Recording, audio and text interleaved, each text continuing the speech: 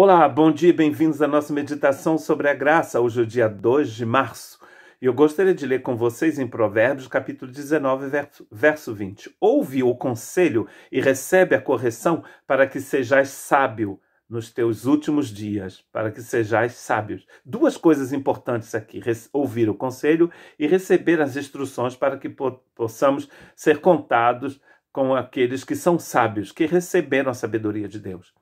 A primeira palavra aqui, a palavra chamar, que vocês devem conhecer, que também é, é citada, é utilizada em Deuteronômio 6,4, significa uh, ouvir com um desejo, um grande desejo de obedecer.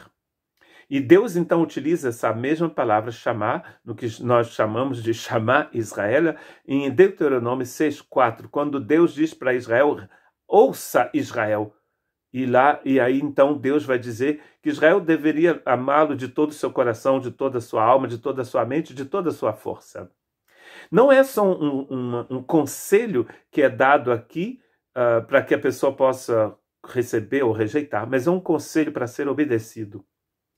Ouvir, esse, receber esse conselho, então, é quando a gente ouve o que Deus tem, está falando para a gente, com um grande desejo, a gente se inclina para ouvir para poder colocar em prática.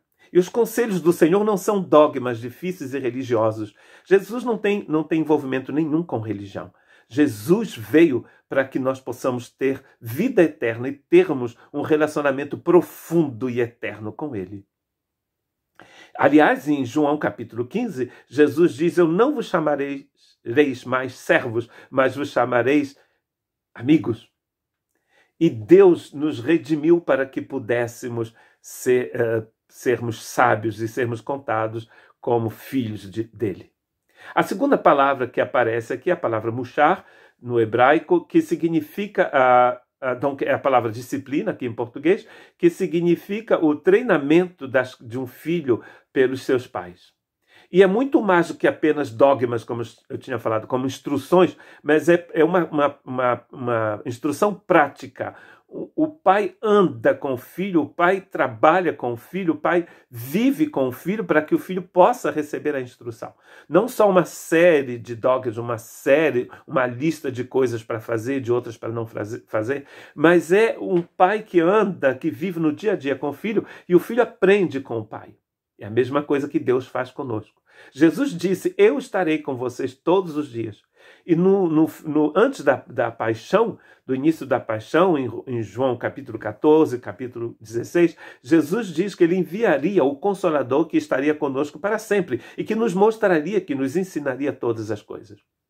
E é desta forma que Deus está nos ensinando. Mas como a gente recebe estes conselhos, como a gente recebe essa disciplina da parte de Deus, é que vai definir que vai definir a nossa forma de viver, de andar, e nós seremos contados como pessoas sábias.